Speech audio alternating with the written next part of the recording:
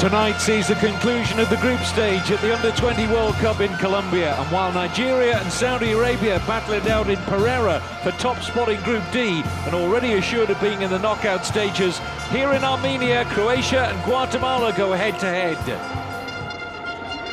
Milinar. Ticinovic making a run here. And has missed his kick there. This is Ticinovic. Zobic on the turn. Just couldn't quite find the angle. Little spin there from Filip Ozobic.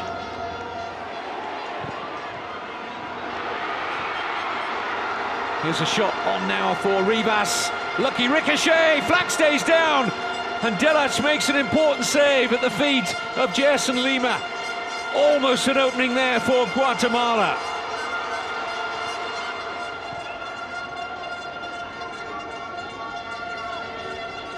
Here's Ceballos for Guatemala. Good cross! Go, oh, it's off the post from Bonilla. How did that stay out?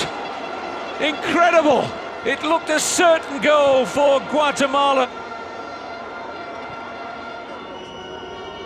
A line of six to be met by a line of six defenders. And the header brings a good save out of Padilla. Excellent save from Jose Padilla.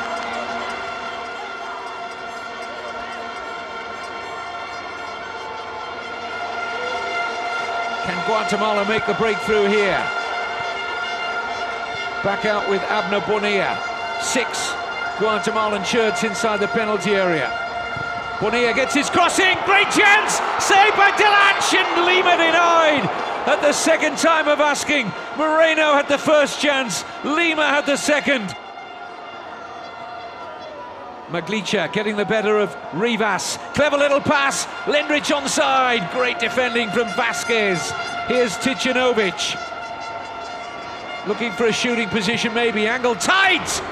Wasn't too far away. Guatemala have had the better openings in and around the opposition goal. Most notably, that chance for Bonilla. Is he going to be left to rue that? Here's a chance, though!